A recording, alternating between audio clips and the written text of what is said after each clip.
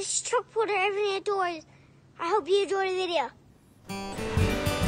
Well, good day, everyone. It's been a while, and you guys have been asking me what I've been up to. I was actually out of town for nearly three weeks on a hunting trip and also a work trip, so no work got done on my cabin at all.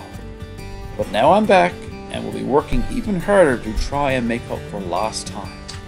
It's a winter wonderland here in Labrador now, and as always, beating the elements is a constant challenge. So sit back and relax as I hit the ground, or should I say snow, running, and double down on the hammer. Enjoy.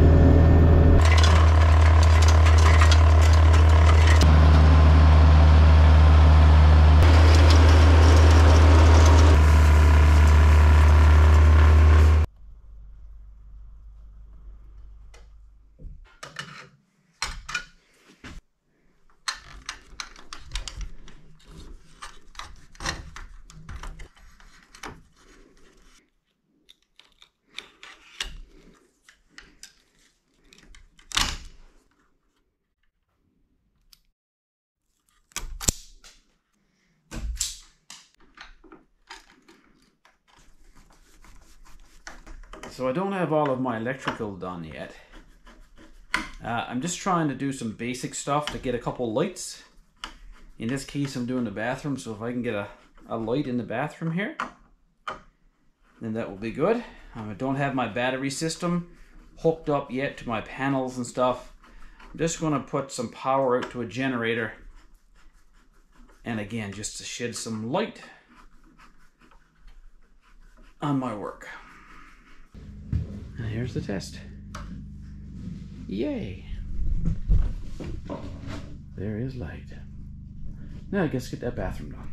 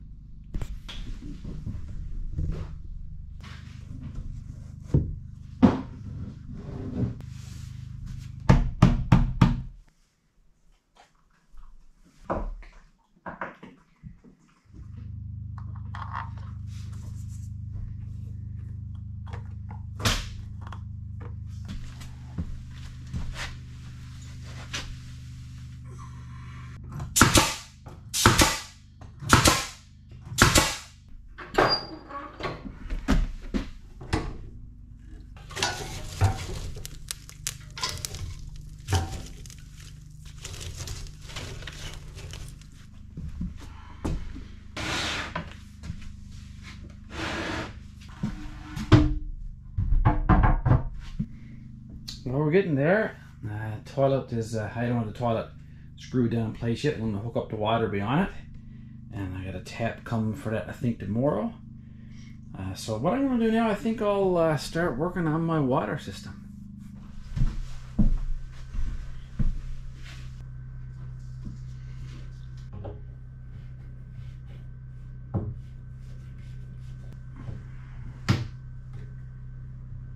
Are you kidding me?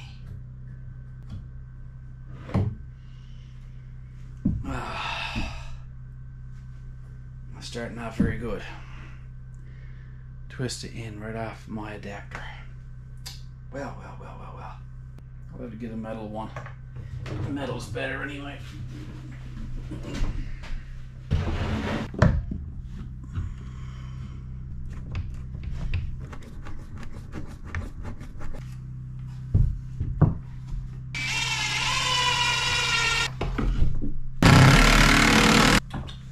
Hello, my doggies. Hello. Sit pretty. Sit pretty. Good girl. I'm gonna put this pressure tank here. I don't think I'm gonna hook it up initially. I'm just gonna put it there in place and uh, I'm just gonna try straight off the pump. That's a three gallon per minute pump, which is a you know a bit of a higher uh, rating for a 12 volt pump. So I'll just go straight from that one to my water system first. If there's any lag in the water supply, then I'll uh, hook up this pressure tank.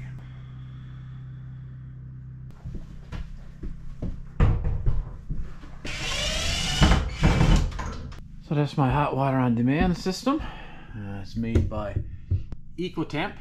You can get smaller units than this, but I wanted a household uh, rated one, which that one is. Again, it all comes as a kit. Uh, this and the pump, and it's propane, and the propane hose and regulator all comes with it.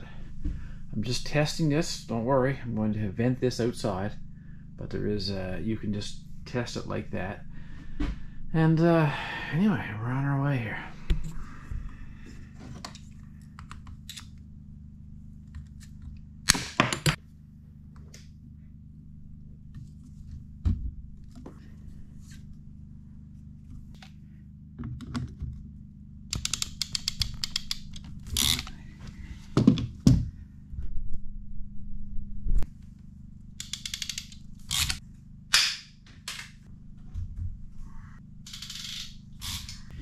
Certainly not a plumber, but PEX piping makes things pretty simple, you know?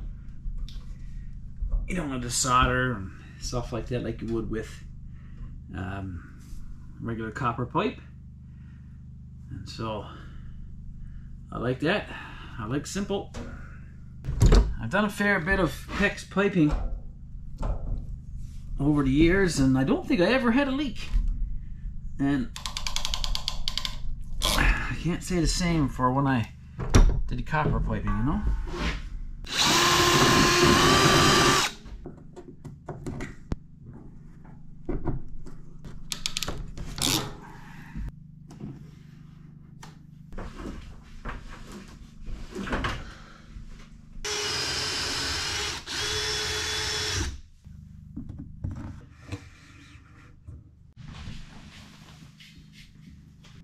Excuse me.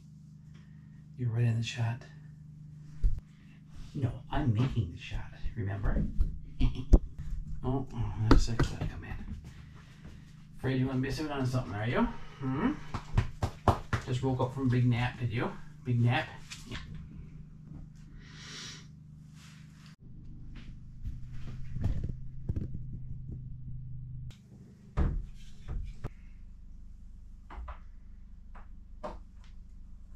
Well, I just double checked all the joins, make sure I didn't uh, miss out on any clamps on the go there. So I think I'm done here now. Um, so if you haven't figured it out, I'm going to have a water reservoir in my cabin, and I have a well, uh, and it's uh, going to be the water will be fed in through this hose. And if you haven't seen my videos on that system, uh, you'll see a thumbnail on the screen right now, and I'll leave a link in the description. I won't have any water sitting in my pipes outside because I don't want them to freeze up in the wintertime. In the north, that is a huge problem. So basically, I'm going to have it uh, water on demand. It's going to come up and it's going to get in this reservoir, and it's going to be 50 gallons of it there. And from there, it'll be pumped up into my hot water on demand, and the cold water will just go straight to the pipes and right from there it'll feed my cabin. So I have my bathroom done as an experiment first.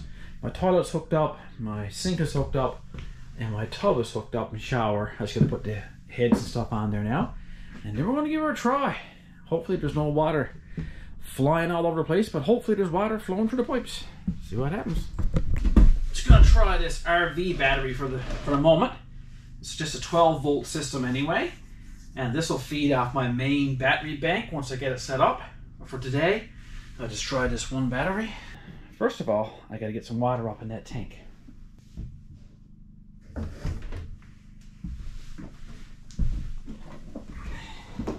This starts up the pump down the well.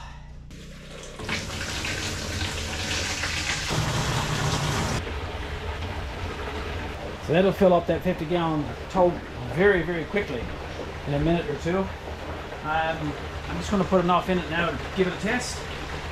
Should be enough for a test. Turn the power off to the pump. Water all runs back in the pipe again, right down back down to the well. Now I don't have any taps or anything open, of course. So I'll open up the valve here. Let's get some power on the pump. Oh yeah. There's some water, baby. Fill the pipes. You can hear it running down here. She'll fill them uh, pipes tight now. All right, let's turn the water on to the taps. Tap, I should say. There you go, it's pressurized. You get to see it firsthand. Cold water. Look at that. There you go. Turn the water onto the toilet. There she goes. Turn the toilet up.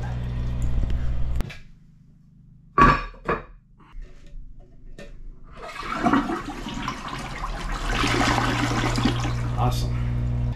That all work good? Let's turn on some water in here.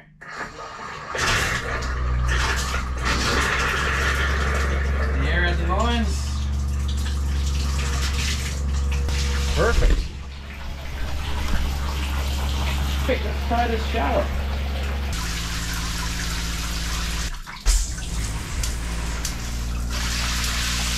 Man, look at that power. Boy, oh boy, oh boy, that's wicked, that is.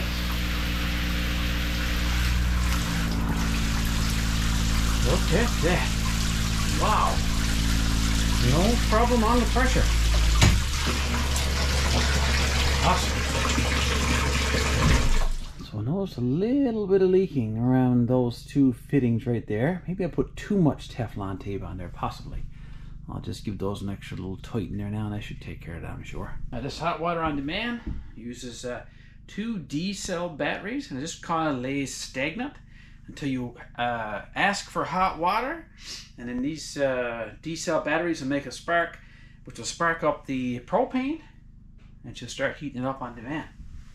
I'm going to play around with these settings a bit. You can adjust the water flow and you can adjust the temperature of your water. I'll just leave both at medium now, just to uh, give it a shot. So these batteries go right up in this little compartment right here. A little catch there for your batteries. That's cool. Positive. And this one goes up here. That's neat.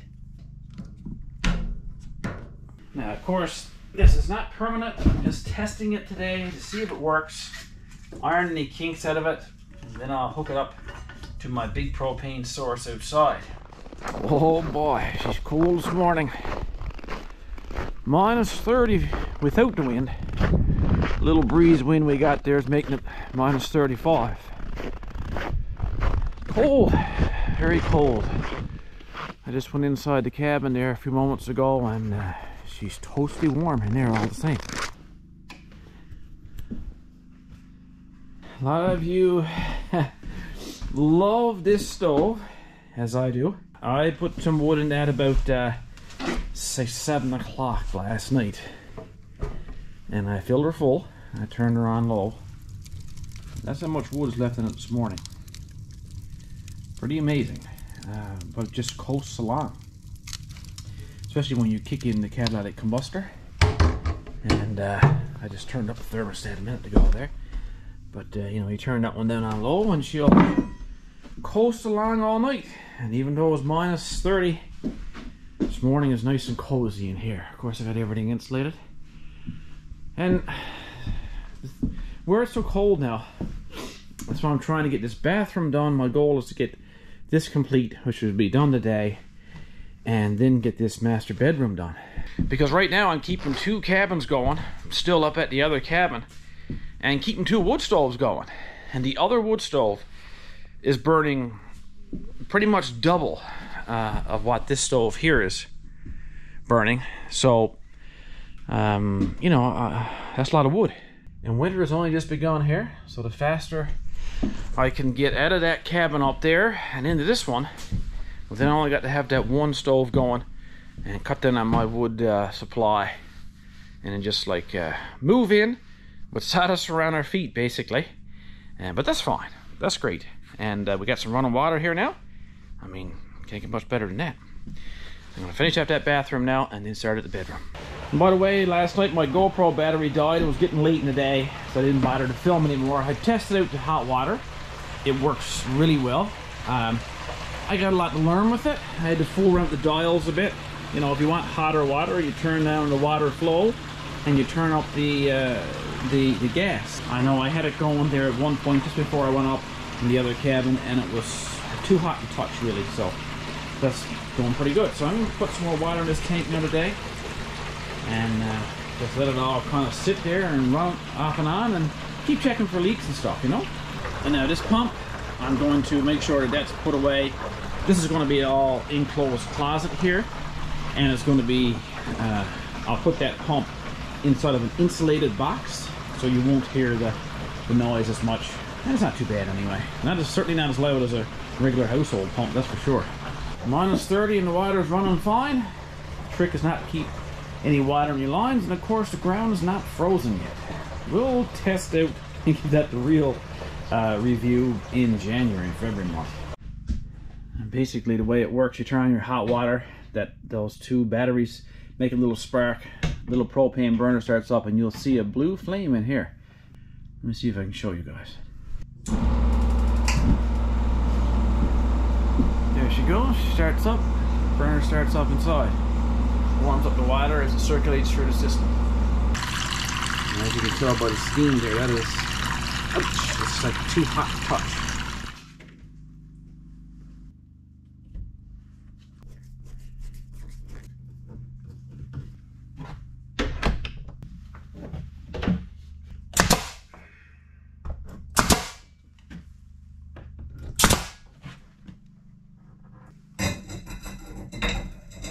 Another test of electrical work. What comes on. Yes, sir. Perfect.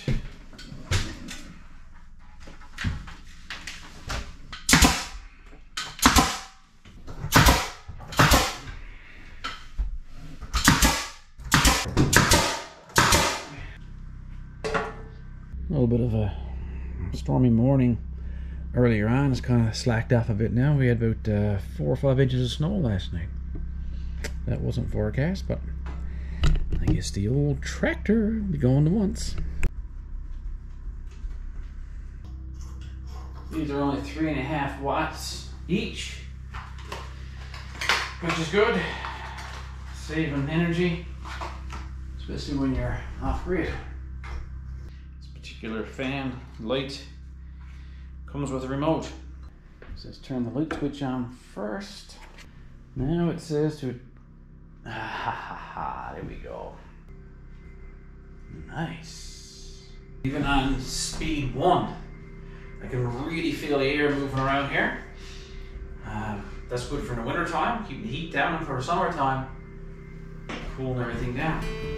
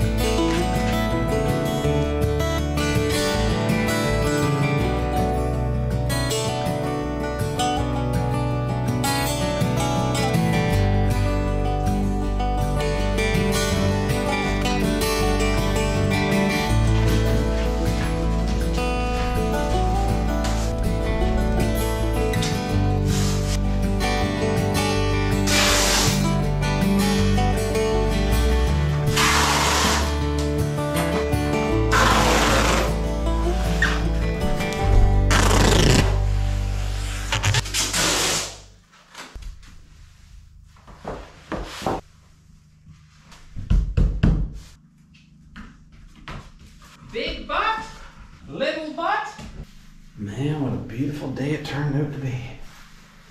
God, go clear some snow when I get this flooring done.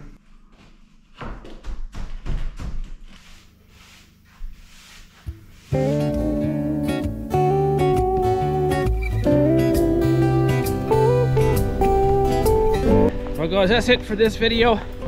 A lot of progress made in a few days there. I got water running, hot and cold. The room is ready for some furniture can move that bed down there now and just move right in and be comfortable. Cook on the wood stove for a bit, kind of rough it, and uh, move along. Time is swiftly passing by. Christmas will soon be here. I'm trying to get everything done before then. I'll try to put out another video, uh, although it's really hard for me. It's really busy. But keep watching for the next video. And until the next video, take care of each other. Get outside and enjoy everything outdoors. And we'll see you next time. Guaranteed. See you next time, guaranteed. Get outside and enjoy everything outdoors.